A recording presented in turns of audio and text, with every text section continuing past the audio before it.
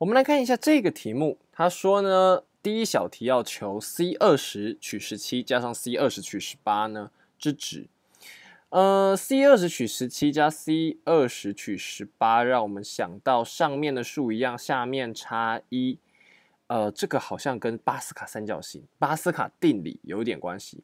我们知道呢，巴斯卡定理是什么？巴斯卡定理是内容是呢，啊，写一下哦。巴斯卡定理的内容是 c k 啊 c 呢 n 减一取 k 减一，再加上 c n 减一取 k 呢，会等于 c n 取 k。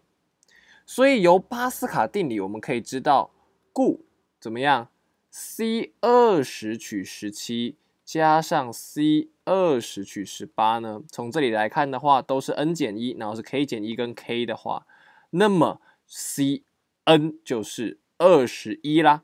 然后呢，k 是十八，所以 c 二十一取十八就是 c 二十一取三啦。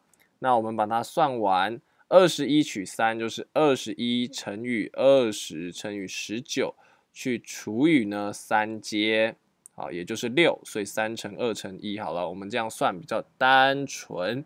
三呢跟二十一约就变成是七，那二呢跟十约，所呃二跟二十约，所以变成是十。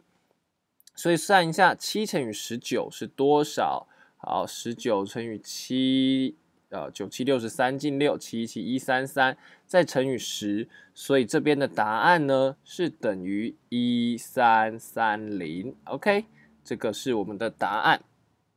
好，那我们来看一下第二小题。哎，第二小题呢，则看起来复杂多喽。从 c 二取零加 c 三取一加 c 四取二加 c 五取三一路加上去。可是这个式子呢，我们怎么看都不知道可以怎么解，因为如果要用巴斯卡定理的话呢，我们至少要怎么样？有某两项，它们上面的这个数要是一样的嘛，都要是 c n 减一。好啦，可是这边每一个数都不一样，要怎么办呢？不一样，我们就给它用凑的嘛，对不对？你想想看哦。这个 c 二取零是一嘛？c 二取零不是跟 c 三取零是一样的吗？那有 c 三取零跟 c 三取一就可以拿来做事情啦，对不对？所以我们呢，干脆这样子改，原式不是就变成是 c 三取零加上 c 三取一，把 c 二取零变成 c 三取零，这个是呢我们的小手段。好，那这边呢继续加上去，c 四取二加 c 五取三加 c 六取四。那一路呢，加加加加加加到 c 二十取十八。那现在呢，我们就可以看到 c 三取零加 c 三取一呢，哎，这个地方变成什么？就是巴斯卡定理就可以拿来用啦。所以这里呢，就变成是 c 的什么三往后一个变四嘛，对不对？然后呢，取比较大的 c 四取一，然后加 c。后面照抄四取二加上 c 五取三加上 c 六取四加上点点点点点加到 c 二十取十八。哎，这个时候你发现有趣的事情发生了，这里竟然又有什么 c 四取一 c 四取二哎，那这个往上一加巴斯卡三角形，我们知道这样加起来巴斯卡定理这样应该是多少？不就变成 c 五取二了吗？那如果呢是 c 五取二再跟 c 五取三加加起来，不就是什么 c 六取三吗？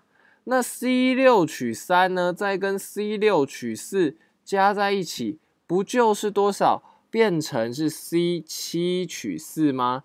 所以你发现呢，这个加完以后都会变成一个什么？都会变成是一个差三的东西。那这里有 c 取起四，这里又有 c 七取五，就会变成 c 八取五。然后呢，一路呢这样子加下去的时候，加到最后啊，我们知道呢，这个等下去，最后加到前一项的时候，前一项是什么呢？这个前一项是还原一项，应该是 c 呢十九取十七。你加到 c 十十九取十七，加完呢？其实应该就会变成 c 二十取十七就是一个差三的东西，所以你发现，哎，你一路用巴斯卡定理用到最后，这边就变成 c 二十取十七加上 c 二十取十八，最后一次再让你用一次巴斯卡三就巴斯卡定理，就变成是 c 的二十一取十八啦。啊，这个你刚刚已经算过了，就是 c 二十一取三，我们就不再算了，答案就是一三三零。